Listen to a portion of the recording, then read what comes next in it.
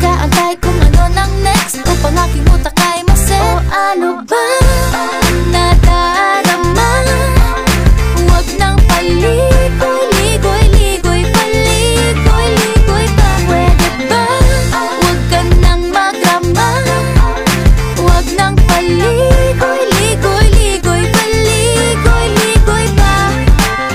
Kwento-kwento ka tungkol sa bagay-bagay. Pag-usapan naman natin tayo Pwede mong maisip yun sa bagay. Kunting tiis na lang malapit na akong magbabay. Ano ka ba naman? Ganyan-ganan na lang. Wala ka lang alam gawin kundi magparamdam. Hindi ko na alam ano pa dapat ang Iisipin ko o dapat panawag na lang. Tuwing gabi ka lang nagte-text Makimessage ko walang effect. Oo, oo, nag-aantay